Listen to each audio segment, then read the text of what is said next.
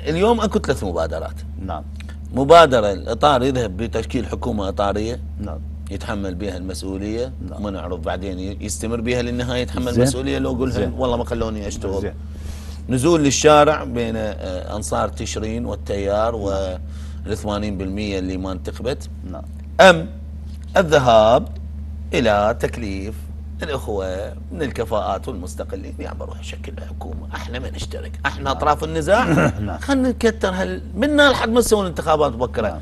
سنة لو سنة ونص ما تصبر الكتل السياسية ما تشترك آه، بالحكومة؟ تصبر تصبر تصبر. آه، فيما يخص الشق الأول من السؤال إنه يذهب الأخوة في الإطار إلى تشكيل حكومة.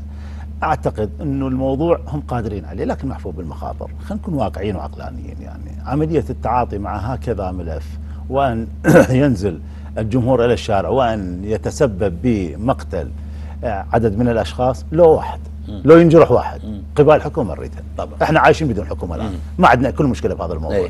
بس لا تنزف دماء كافي عملية فتح الباب لاستخدام السلاح وإسهاق الأرواح ونسف الدماء سوف تكون لها بداية ولن تكون لها نهاية لا. سامح الله. بالضبط. فهذا موضوع خطير. علينا وهم راح نرجع للحوار. ونرجع الحوار فعلينا بالصبر والتأني وأن نذهب إلى طاولة الحوار حتى وأن يعني تتأخر الموضوع. هسه نعم نحتاج إلى حكومة نحتاج إلى ميزانية نحتاج إلى إلى تنمية إلى خدمات. شنو رأيك بالذهاب بحكومة من المستقلين؟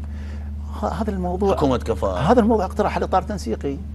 قبل فترة اقترح يخلي تنسيقي. من خلال مبادره من خلال أطراف النزاع واحد من أطراف النزاع منسحب من البرلمان سيد. ليش ما ينسحب الإطار سادات. وتنطي فرصة للمستقلين سادات- يشكلون حكومه سادات سادات عندما تحدث سماحه السيد عن مبادرة وقال إنه رئيس الوزراء يكون مستقل والحكومة صدرية أو هنالك من البيت الصدري وهنالك من السيادة وهنالك من آه، الديمقراطي والكتل الأخرى الإطار. الإطار الإطار قدم قال حكومة كاملة مستقلة زين. كاملة مستقلة لكن ما صار توافق على هذا الموضوع. نعم الحكومة المستقلة تحتاج لمن؟ تحتاج إلى برلمان حتى تمشي أمورها. تمام تمام. زين هذا البرلمان يدعم الحكومة أم لا يدعمها؟